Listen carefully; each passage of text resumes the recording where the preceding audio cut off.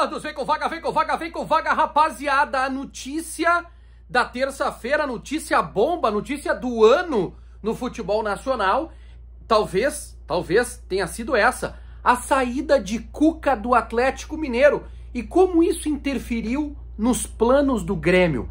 Tem muito a ver. E eu vou explicar por que neste conteúdo a partir de agora. Aqui no canal do Vaga ainda tem Sorriso, e Benítez, tá fechado? Não tá? Serve? Não serve? A partir de agora, aqui no canal do Vaga Vem com Vaga, Vem com Vaga e Vem com quitaboletos.com.br. Rapaziada, nada de dor de cabeça, nada de transferir dor de cabeça para 2022. Vamos entrar o ano novo sem conta para pagar? Ou pelo menos fatiando esse problema, jogando lá para frente, empurrando com a barriga, mas resolvendo agora, de cara conquitaboletos.com.br, aquele boleto pesado, aquele boleto que não tem parcelamento, parece um tijolo em cima da tua, da tua barriga, ou dentro da tua barriga, ou dentro da tua cabeça. Quita Boletos vai quitar para você e você vai negociar em até 12 vezes em mais de um cartão de crédito. quitaboletos.com.br. Não perde tempo. O WhatsApp tá aqui, ó é o 55DDD 55 e aqui o site para vocês conhecerem um pouco mais do trabalho da Kita Boletos. Gente, é, as especulações da terça-feira. Benítez está fechado e Sorriso, atacante do Juventude. Serve, não serve? O que, que tem de, de, de negócio em andamento aí, tá? Na terça-feira surgiu o nome do Sorriso, atacante de jovem atacante formado na base do Juventude e ele era reserva do Juventude na reta final que ele assume a condição de titular, ele era reserva do Paulinho Boia. Lembra? Paulinho Boia que veio do São Paulo, arrebentou no Juventude, acabou saindo, foi negociado, e aí o Sorriso que entrava no segundo tempo, Sorriso entrava no segundo tempo, é, ele assumiu a condição de titular. Pois bem, a informação é de que o Grêmio tem interesse na contratação deste jogador. Eu mandei uma mensagem para o senhor Oswaldo Pioner, que é o homem do futebol do Juventude, ele leu e não me respondeu ainda. Eu sei que outros colegas tentaram checar e a resposta do Juventude é: não recebemos nada. Mas a informação é de que o Grêmio prepara uma proposta para contar com esse jogador. Atacante de beirada, muito bom jogador, velocidade, é uma, uma jovem promessa do Juventude, tá? Serve, serve. Pode jogar no lado direito, pode jogar no lado esquerdo, pode ser uma opção ao Ferreirinha. Jogador que serve. Para a Série B do Campeonato Brasileiro, serve. E ainda mais esse tipo de negócio. Jogador jovem, com potencial a ser desenvolvido, se encaixa no perfil, me serve o sorriso. É bom jogador. Benítez está fechado, essa é a segunda especulação. É, não tenho confirmação. Não tenho a confirmação de que o Benítez está fechado com o Grêmio, tá?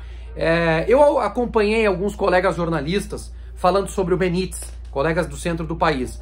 O Benítez não é parecido com o Douglas, com o Douglas 10, não, não tem nada parecido. É, inclusive compararam, ah, um é melhor que o outro. Não, peraí, não, não tem nada a ver. Não, são, não tem nem as mesmas características. O Douglas é 10, centralizador, pifador. Benítez é 10, que acelera jogo, que bate bem de fora da área. Tem nada a ver, nada a ver. Essa comparação é, é inclusive injusta com o Benítez. O Douglas, assim, bola por bola, joga muito mais que o Benítez, tá?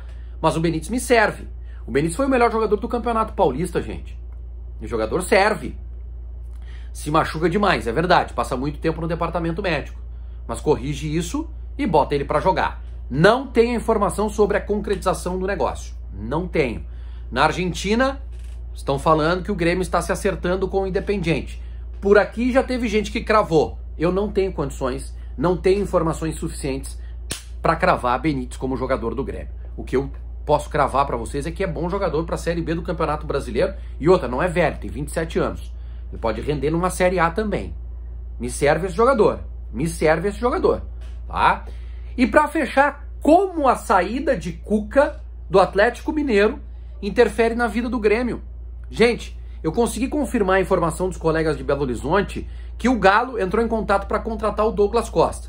O Grêmio quer se ver livre do Douglas Costa. O Grêmio quer rescindir o contrato. Rescindir o contrato, não. O Grêmio não quer ficar com o Douglas Costa porque não consegue pagar. Não tem como pagar o Douglas Costa. Isso quem disse foi, eh, quem está dizendo é a direção do Grêmio, né? que quer sentar, que quer conversar, quer saber qual é a ideia dele, mas o Grêmio não quer ficar nos bastidores, a gente sabe que não tem como ficar com o Douglas Costa.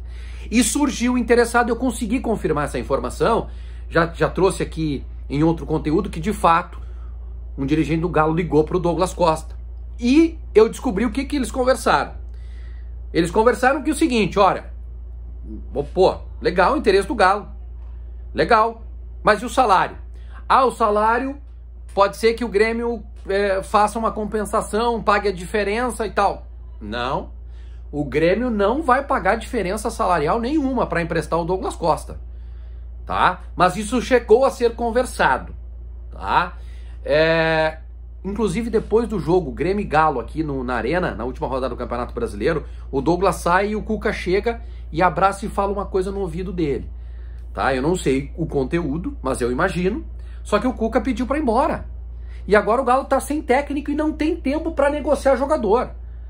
Todas as energias do Galo estão voltadas, canalizadas para contratar um técnico. E emperrou, emperrou a situação envolvendo o Douglas Costa. O Douglas, inclusive, teria dito: olha, meu objetivo é ir para fora. Mundo árabe, Catar, Estados Unidos, até a Europa. O empresário está tentando alguma coisa para o Douglas Costa. Mas ele, ele sinalizou desta forma para o Atlético Mineiro. Mas gostou do interesse do Galo. Só que essa notícia que caiu como uma bomba atrapalha o Galo e tem ressonância aqui em Porto Alegre, porque o Grêmio chegou a alimentar nos bastidores a possibilidade de se desfazer do Douglas Costa via Galo. Atrapalhou e atrapalhou bastante. Talvez fique só para o ano que vem uma retomada de negociação. Obrigado pelo carinho da audiência. Até a próxima. Tchau, tchau.